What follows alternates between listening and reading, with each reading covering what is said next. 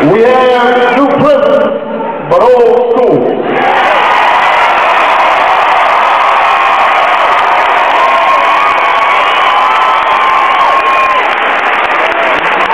Our children aren't able to compete in this new global economy. Our healthcare system, 47 million people without health insurance. And if you have health insurance, you see your co-payments and deductibles, your premiums going up and up and up. So it's becoming harder and harder to maintain your coverage.